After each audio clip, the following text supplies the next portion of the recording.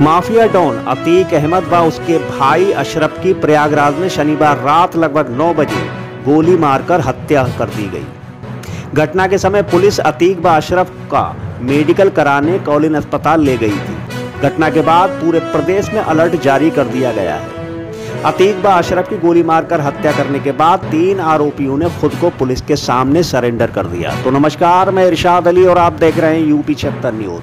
खबर हमारी दुनिया में तो दोस्तों, खबर जानने से पहले यदि आपने हमारे चैनल को सब्सक्राइब नहीं किया है तो चैनल को ज़रूर सब्सक्राइब करें। इस खबर को लाइक करें, शेयर करें, कमेंट करें और देखते रहें यूपी छत्तर उत्तर प्रदेश की इस समय की सबसे बड़ी खबर, माफिया डॉन और उसके भाई की प्रयागराज में शनिवार रात लगभग नौ बजे गोली मारकर हत्या कर दी गई।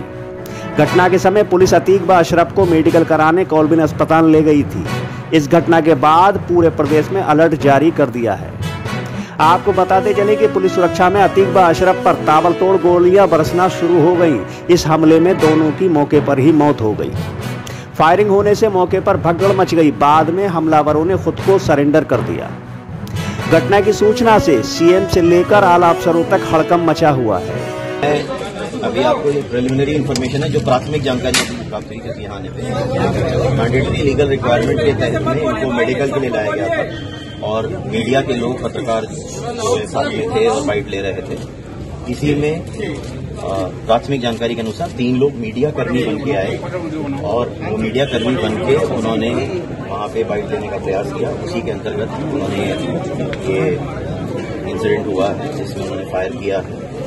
इसमें तीन लोगों को भी पकड़ा गया जो पूछताछ अभी हम कर रहे हैं। और इसमें इनकी अतीक और अशरफ की डेथ हुई है। क्या हो रहा है? इसके अलावा एक पत्रकार हैं जो एएनआई के हैं। मैं उनके नाम अभी नहीं डाइवर्स कर रहा हूँ। लखनऊ के पत्रकार हैं एएनआई के। इनके चोट आई है। और अभी मेरी उनसे बात हुई है तो उनका वो उस इंसिडेंट में वहीं खड़े थे तो एकदम भागे दौड़े हैं तो उनको गिरने से चोट आई है। और एक कांस्टेबल है मानसी हमारा। जिसको अभी प्राथमिक रूप से बुलेट इंजरी है उसके क्रॉस की है। बाकी और डिटेल्ड इंक्वायरी डिटेल्ड जानकारी मैं आपको दूँगा। मैं पुनः रिपीट कर रहा हूँ। मैंडेटरी लीगल रिक्वायरमेंट के तहत मेडिकल के लिए आए हुए थे। मीडिया के समस्त कर्मी इन लोगों के साथ में थे। और इसमें जो प्राथमिक अभी तक जानकारी है तीन लोग मीडिया कर्मी बन के आए और उन्होंने बाइट लेने का प्रयास किया। और इसमें उनके फायरिंग में ये अतीक और अशरफ की डेथ हुई है। सर कितने सर कितने राउंड फायरिंग हुई है? सर फायरिंग कितने राउंड हुई है? जितना आपको डिस्कस कर सकता हूँ उतना बता रहा हूँ चीज़ें अभी मैं उनसे लोग पकड़े गए हैं कुछ असला उनके पास से मिला है। अभी उनसे डिटेल्ड इंटेरोगेशन किया जा रहा है। प्रयागराज में माफिया अतीक अहमद व उसके भाई अशरफ की हत्या के बाद सुरक्षा के लिहाज से पूरे प्रदेश में धारा 144 लागू की गई है और समस्त जिलों में सतर्कता बरतते गश्त करने, मिश्रित आबादी वाले क्षेत्रों में पुलिस बल तैनात करने के निर्देश दिए गए हैं। तो वहीं जनपद फरुखाबाद में जिलाधिकारी संजय कुमार सिंह, पुलिस अधीक्षक अशोक कुमार मीणा, नगर मजिस्ट्रेट दीपाली भार्गव व सीओ सिटी प्रदीप कुमार, भारी पुलिस बल के साथ शहर में गश्त करते नज़र आए।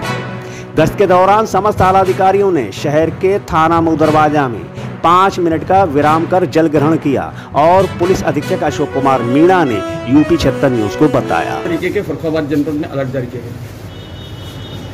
ये फरुखाबाद जनपद के अंदर सेंसिटिविटी को देखते हुए जोनल सेक्टर स्कीम को लागू किया गया है।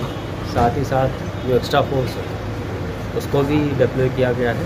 लगातार जो राजक तत्व उन पर हमारी नज़र है और सभी को बताया भी गया है कि किसी भी तरीके से कोई भी भड़काऊ टिप्पणी या धार्मिक भावनाओं को के साथ या सौहार्द को बिगाड़ने वाली टिप्पणी ना किसी सोशल मीडिया पर की जाए। अगर कोई ऐसी बात करता है तो उसके खिलाफ कठोर से कठोर कार्रवाई की जाएगी। हमारा पुलिस फोर्स और प्रशासन के अधिकारी साथ साथ लगातार सभी जगह भ्रमणशील है और सभी चीज़ों पर नज़र रखी जा रही है और पूरे जनपद में पूर्ण रूप से शांति व्यवस्था कायम है।